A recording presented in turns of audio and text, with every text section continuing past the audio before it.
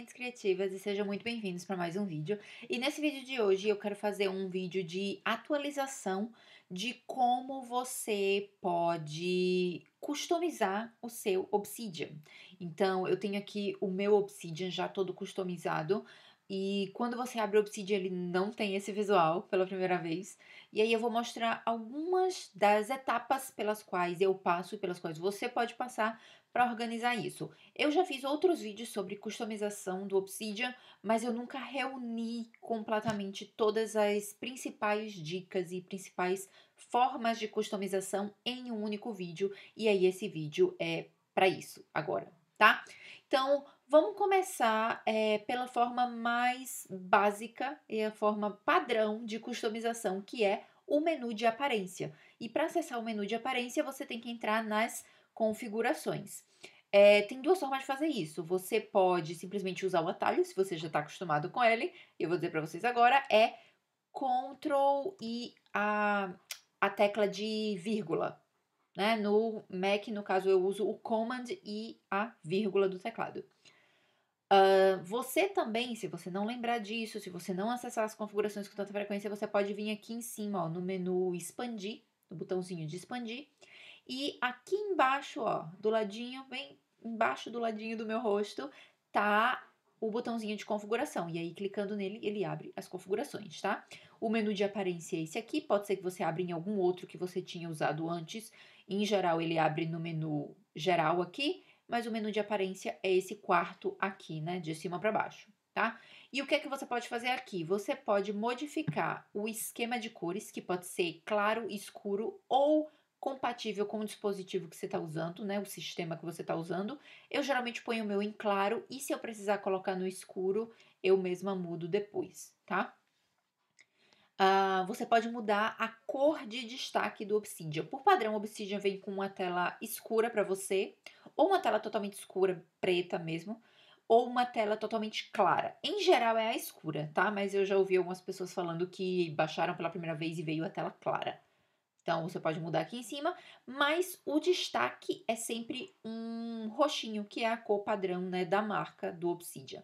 Mas você pode vir aqui e trocar.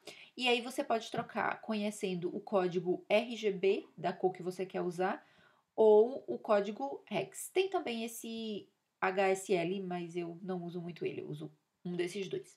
Isso aqui você pode descobrir na internet, tá? Então, se tem um amarelo específico que você quer usar, ou se você viu uma cor na internet que você gosta, você pode ir num site que tenha aqueles é, aqueles conta-gotas para pegar cor, sabe? No Canva dá para fazer isso, em outros sites de desenho e design dá para fazer isso. Você pega ali a cor e ele vai dar para você esse código X. Pode ser que ele dê também o código RGB, né? Dependendo do que tá padrão configurado lá. Em geral é o código X, tá? Ou você pode procurar no Google simplesmente, sei lá, você quer botar um amarelo, código X amarelo, e aí ele vai dar para você um, uma interfacezinha onde você pode selecionar ali que cor você quer e aí ele lhe dá o código, tá? E aí você só vem aqui e põe os números adequados ou no caso do X só põe o códigozinho aqui, tá? E aí você já mudou a cor de destaque do Obsidian. Outra coisa que você pode fazer aqui é mudar o tema. Eu tenho alguns temas aqui instalados que são temas que eu gosto muito, que são temas que provavelmente em outros vídeos de Obsidian você já viu ele funcionando, porque são os temas que eu já usei e que às vezes eu mudo de um para o outro. Ultimamente eu tô bem fixa no Minimal, tá? Que é um tema, vamos dizer assim, oficial do Obsidian, porque quem criou é um uh, um dos principais responsáveis lá pela empresa. Então, eu estou usando bem ele, é um tema que está sempre atualizado, é um tema que é muito customizável, então eu uso ele. Mas temas que são muito bons também. Esse aqui, a no Putin, também é muito uh, fácil de customizar. Uh, temo, esse daqui não é um tema muito popular. Talvez eu não recomende esse. Esse aqui é especificamente, ele foi desenhado para um, um visual de jogos para quem joga RPG, esse tipo de coisa, por isso que eu tenho ele aqui. Mas talvez ele não seja um visual que você goste. Mas ele também pode ser. Todo tema pode ser customizado, tá? Então você pode só instalar e sair modificando as coisas. E eu vou mostrar daqui a pouco como. O Primer e o Prism foram os primeiros temas que eu usei, eu gosto muito deles. Uh, mas aí quando eu descobri o Minimal e o Anoputin, eu gostei mais deles por conta de como os ícones são desenhados e algumas coisas são um pouquinho menor neles, e aí eu não tenho que ficar configurando tamanhos, porque já tá num tamanho agradável para mim. Mas tá aqui, os temas que eu uso são esses, tá? E para você pegar um desses temas, é só clicar aqui, ó, em gerenciar e você pode ver outros temas, inclusive, não só os que eu mostrei para vocês. Tem um preview aqui. Se você clicar nesse quadradinho, ele vai mostrar mais informações sobre esse tema. Provavelmente vai ter mais imagens mostrando como é que ele fica, ó. E aí você pode escolher o que você quer. E algum deles já tem, por padrão, uma customização nele. Então você pode escolher meio que uma cor uh, específica, tá? E essa customização né, desses temas, ela funciona por meio de um plugin que eu vou mostrar depois, mas ó, ele tá aqui, hum, aqui embaixo, em algum lugar. E meu rosto tá escondendo ele. Mas eu posso aqui, ó. E pronto, esse aqui. Style Settings. Ele é o plugin de customização de temas, a gente chega nele daqui a pouco, né? Por enquanto, vamos continuar aqui. Então, temas. Instalar um tema e ativar o tema é basicamente você escolher isso aqui. Uh, se eu mudar aqui, ó, um tema, você vai ver que ele já vai aplicar diferente. Eu geralmente uso essa mesma, esse mesmo esquema de cores que a gente edita lá naquele plugin, que é esse essa coisa meio marrom, amarelado, sabe? Um pouquinho de um amarelo mais dourado, indo pro marrom e tal. É, então, os temas que eu colocar aqui, você vai ver ele mais ou menos ficando na mesma paleta de cores, apesar né, dos temas serem diferentes. Você pode ver que a letra muda um pouquinho, o espaçamento, os ícones e tal. Então, ó, isso que eu falei, ó, tá vendo esses ícones aqui em cima, eles parecem meio imprensadinhos, por isso que eu parei de usar o Primary. E eu também não tava com vontade de parar para editar esses detalhes. Esses detalhes muitas vezes a gente pode editar também. Uh, mas aí eu encontrei o minimal que tá me satisfazendo bastante. Às vezes eu mudo de volta para o Anuputin, mas eu estou muito no mínimo ultimamente. Tá? Uh, você pode checar por atualizações no tema por aqui. Então você clica, ele vai dizer se tem alguma atualização. Se tiver, vai aparecer um botão para você atualizar isso. Uh, às vezes você vai precisar reiniciar o Obsidian, que é fechar e abrir de novo para poder aplicar essas atualizações depois que ele faz. Mas é, é bem rapidinho. Então a gente tem a fonte da interface, você pode colocar uma fonte diferente. Eu gosto muito da fonte padrão, eu acho que ela foi bem escolhida, mas você tem aqui, ó, uma variedade de fontes, que se eu não me engano ele pega já do seu próprio computador, as fontes padrão. Uh, se não for isso, são fontes padrão que costumam estar na maioria dos computadores. Então, você tem acesso a todas elas aqui, você pode clicar e ir testando. Eu gosto da principal, eu não vou fazer isso. Uh, o, a fonte do texto. Fonte de interface são essas fontes aqui, ó, para menu, para é, as configurações e tal. E a fonte do texto é a fonte que vai estar tá lá atrás em cada anotação que você está fazendo. Então você pode vir aqui, ó, em gerenciar e também escolher uma fonte para esse caso específico. E aí você vai colocando, vendo como é que fica, volta, tira, bota outra, enfim, vai escolhendo aí o que você quer. Fonte monoespaçada, então, são umas fontes que parecem mais aquelas fontes, sabe, estilo máquina de escrever, que era uma fonte uh, mais redondinha e o espaçamento dela não era tão perto um do outro. Uma coisa mais nesse tipo, esse tipo de fonte aí. Uh, também não tem interesse de botar essa fonte aqui, mas se você quiser, tá aqui, tem essa possibilidade. Tamanho da fonte, eu gosto dela mais pequenininha, mas você pode aumentar, ó. Você passar o mouse, ele diz qual é o tamanho que você tá ultimamente. Essa é a 12 que eu tô, eu posso aumentar aqui, ó, e ali atrás, se você ver, ó, meu calendário já ficou enorme a fonte aqui. Eu não gosto dela tão grande, eu vou deixar voltar pro 12, pronto. E aqui a interface do Obsidian. Isso aqui é uma coisa que já me veio muita dúvida em mensagem de Instagram, em mensagem de e-mail que é, é esse título aqui. Se eu marcar ele, vamos ver o que acontece. Marquei. Ó, apareceu isso aqui em cima, ó. Isso não estava antes. Então, eu posso voltar lá onde a gente estava, posso desmarcar de novo e você vai ver que ele some. O Obsidian, por padrão, ele pega o título da sua anotação e ele transforma isso num título aqui no o título do arquivo, na verdade, transforma no título da anotação, que é aquele que aparece aqui em cima. Eu geralmente crio os meus próprios títulos, tá? Eu não uso exatamente o nome do arquivo. Então eu desabilitei isso para não ficar aparecendo o título que o Obsidian dá mais o meu título ficar duplicado, sabe? Então, ou duplicado ou aparecer dois títulos diferentes se eu botar um nome diferente de título do que o que está no nome do arquivo. Então, é isso que essa opção faz certo? Você pode desabilitar esse título e colocar o seu próprio e montar um template que tenha a forma do título que você quiser que ela tenha, tá? É, esse daqui mostrar a, essa barra de cima, se eu desabilitar, ó, vamos ver ela habilitada, tá vendo isso aqui, ó, essa barrinha aqui em cima que tem a, a pasta em que tá meu arquivo, o meu arquivo e esses íconezinhos aqui que para você favoritar uma página, né, deixar ela destacada, fazer a edição e esse menu de opções aqui para cada anotação, que vai ter exportar para PDF, deletar anotação, esse tipo de coisa. Uh, eu apertei aqui sem querer. Isso daqui esconde essa barra. Eu não gosto de esconder essa barra, por quê? Às vezes eu quero deletar uma anotação, ó, e aí o menu já sumiu, então eu tenho que habilitar ele para poder deletar. Ou lembrar qual é o atalho para deletar uma anotação, se eu já tiver colocado um atalho para isso no meu Obsidian. Então, para não ficar com o meu cérebro sobrecarregado, eu deixo ela habilitada e eu gosto daquilo de fácil acesso, aqueles botõezinhos de fácil acesso, né, para favoritar, para editar, para entrar no menu de exportar e fazer, né, toda a modificação que eu quiser dentro daquela daquele arquivo. Então, é para isso que serve isso. Esse ribbon, né, é essa fita aqui do lado, ó. Preste atenção nela, ela está habilitada. Se eu desabilitar aqui, ó, ele escondeu aqueles ícones ali. Eu gosto daqueles ícones ali. Uh, no caso desse aqui, que é um template que eu disponibilizo para quem faz o meu curso, que inclusive vai ter link na descrição, ele tá meio bagunçadinho, porque eu acabei de abrir e eu não habilitei aqui a função home. Quando eu habilito a função home, ele fica organizadinho. Mas no meu particular, né, no meu pessoal, eu também tenho uma ordem que esses ícones aparecem, tem alguns ícones específicos, tem alguns ícones que eu escondo porque eu não preciso deles, tá?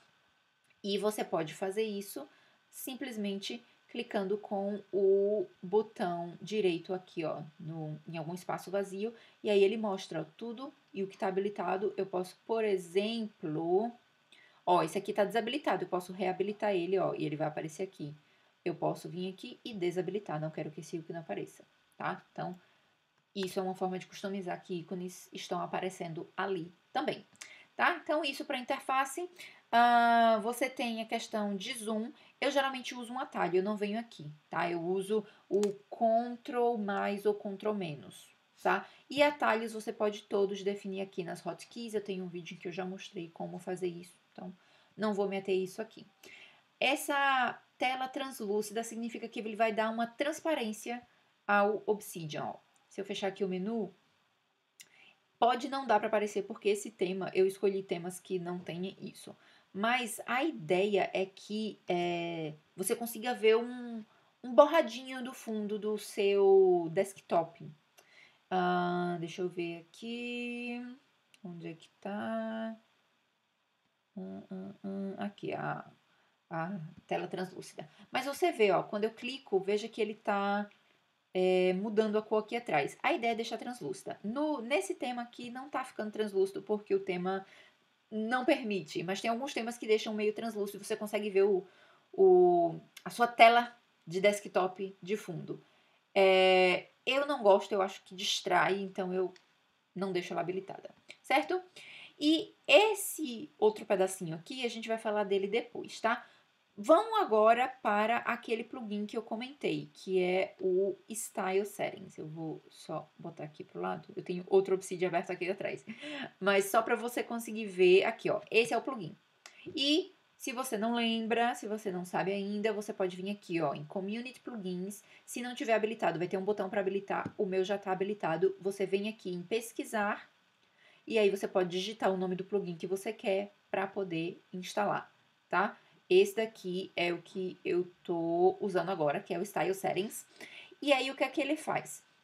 Ele reconhece qual é o tema que está habilitado, tá? Não é todos os temas instalados, o que você habilitou lá que está sendo usado no momento. No meu caso é o mínimo, ó, tá vendo aqui? E ele me dá opções de edição desse tema.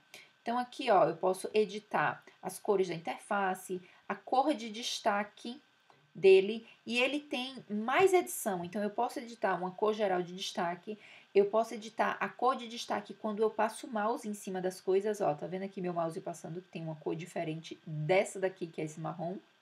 Então, são essas cores que eu defini aqui.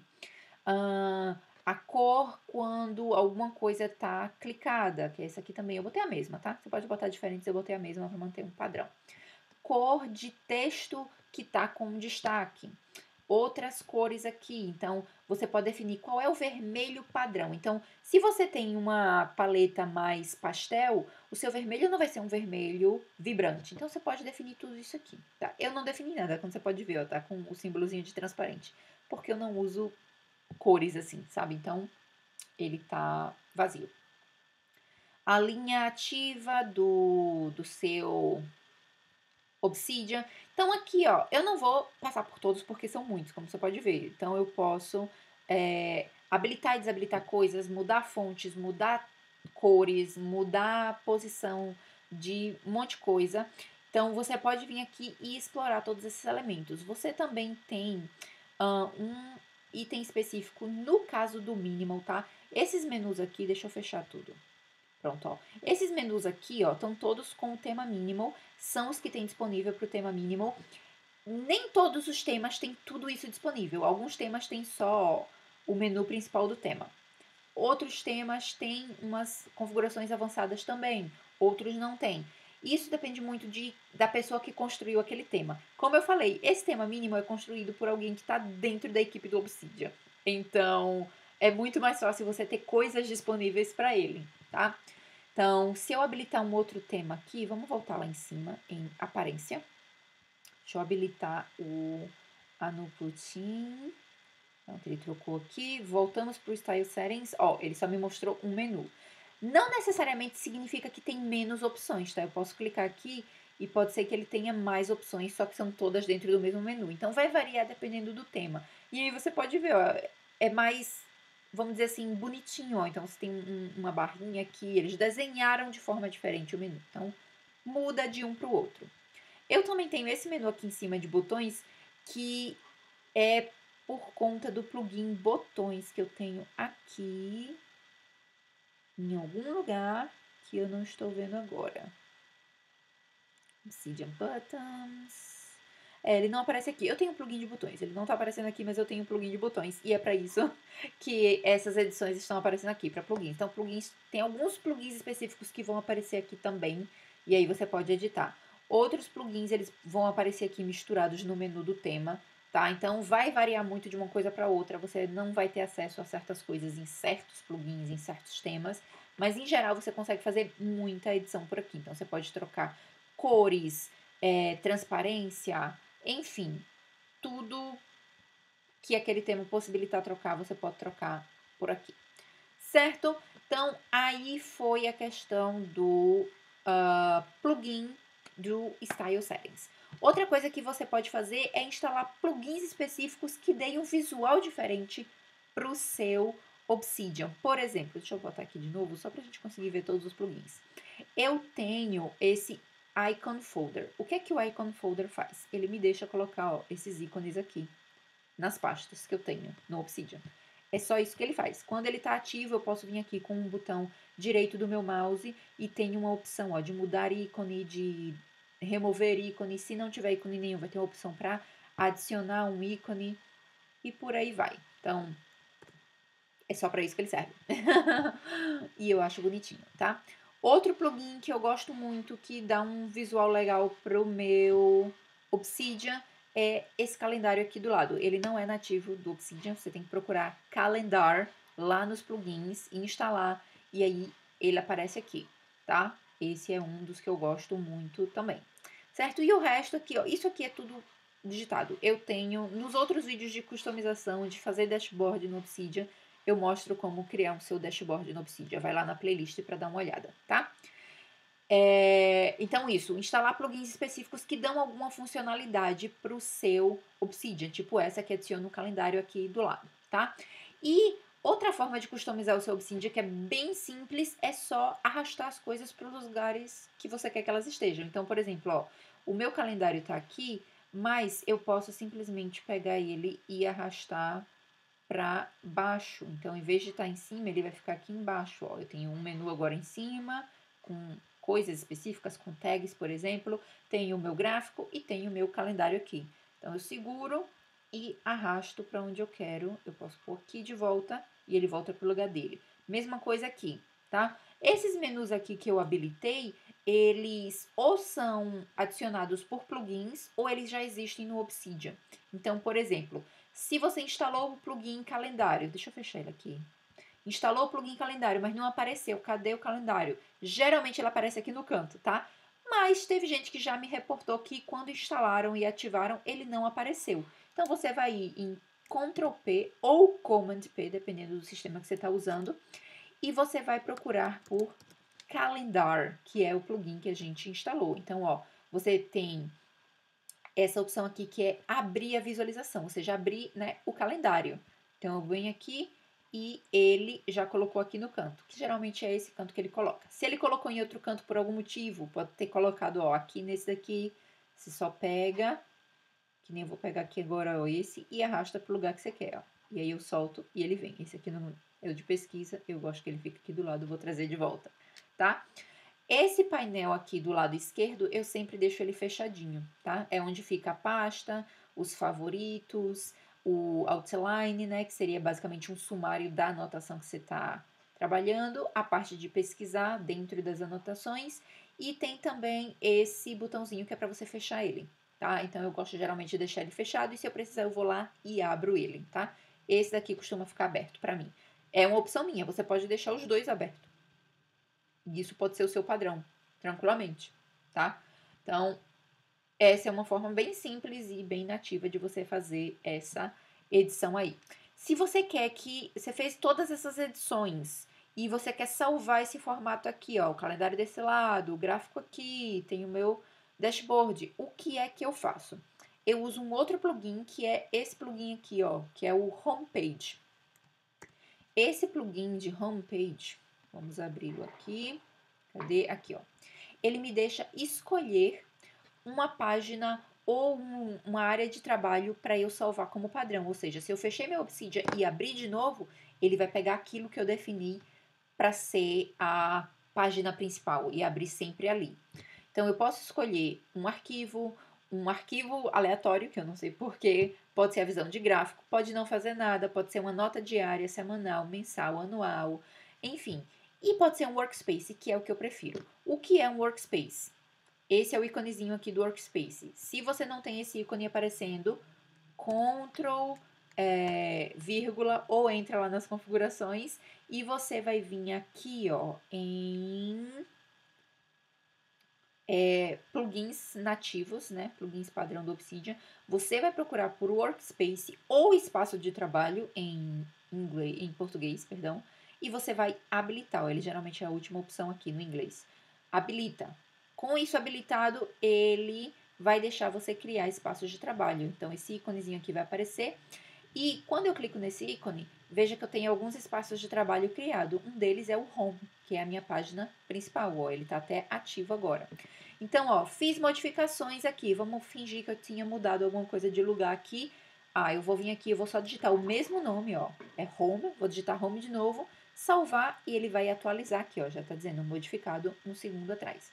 Então, se de repente eu decidir, ah, vou fechar aqui meu gráfico por qualquer motivo, fechei isso aqui, cadê? Fecha, pronto, fechei e tirei aqui isso, pronto, ó.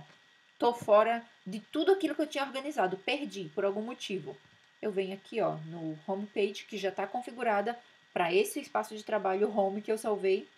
E quando eu clico nele, ó, ele traz de volta tudo aquilo que eu tinha salvo no meu espaço de trabalho. Então é organizar tudo, salva como um espaço de trabalho, dá um nomezinho, vai lá no plugin homepage e escolhe aquele espaço de trabalho para ser a sua homepage, tá? É assim que eu faço isso. E a última forma, que é uma forma avançada de customizar o seu Obsidian é usando isso aqui, que são os snippets ou em português, eu não lembro como é que ele chama. É... Fragmentos. Isso, fragmentos de CSS, é assim que ele chama. O que são fragmentos de CSS? São esses arquivos aqui. Ó, eu tenho todos habilitados. Eles não vêm por padrão, tá? Eles não existem no Obsidian por padrão. Você tem que ou fazer download online, alguém fez esse arquivo e você faz download, ou você mesmo pode criar. Eles são feitos usando uh, uma linguagem chamada CSS, que é a mesma linguagem que é usada em websites para customizar o website, para dizer que ah, os botões são dessa cor, o texto é dessa cor, o, a fonte, o texto é desse tamanho, uh, enfim, fazer essas customizações visuais. É a mesma linguagem. E eu tenho um aqui aberto, um dos meus aberto, ó. Então, assim, você precisa, para criar ele, ou saber mexer nesse tipo de coisa aqui, né? Saber criar esse tipo de arquivo, ou online, quando você estiver vendo o vídeo de alguém e essa pessoa disse que está usando um fragmento e disponibilizou esse fragmento para download, você pode ir lá fazer o download e colocar no seu Obsidian. Como você coloca no Obsidian? Você vai vir aqui, ó, tem esse íconezinho de pasta. Você clica nele, ele vai abrir o lugar onde você vai ter que botar esse arquivo. Você só copia o arquivo para lá, certo? Se você uh, quiser pegar dentro do, das pastas do seu computador, onde é que ele fica, né? Sempre pode clicar aqui, mas se você quiser navegar pelo computador mesmo, eu, por exemplo, é, salvei os meus volts do Obsidian em uma pasta chamada Obsidian. Só o que você vai precisar fazer é procurar o seu uh, cofre do Obsidian. No meu caso aqui, eu tenho três salvos nesse computador. Esse daqui é o que a gente está trabalhando lá, que é o template. A pasta de snippets ela fica escondida, tá? No MacBook eu uso o atalho Ctrl Shift ponto para exibir as pastas que estão escondidas, tá? No Windows, lá na barra superior, vai ter menus e é só você procurar no lugar onde tem mostrar arquivos escondidos ou algo do tipo. Ou pesquisa no Google que com certeza o Google vai te mostrar que botão você clica para exibir aqueles arquivos escondidos. Então, quando eles estiverem exibidos, você vai ver essa pasta .obsidian, tá? Geralmente a pasta escondida tem esse ponto. Entra nela e vai ter a pasta snippets. É aqui dentro que você coloca. Todos os meus arquivos, se você olhar o nome deles aqui, ó, são exatamente os mesmos nomes que estão aqui. E aí são arquivos para configurar alguma coisa específica do visual. Então, ou para configurar como o botão se comporta, qual é a cor, qual é o, o, tipo de texto, se você passa o mouse por cima, o que é que acontece.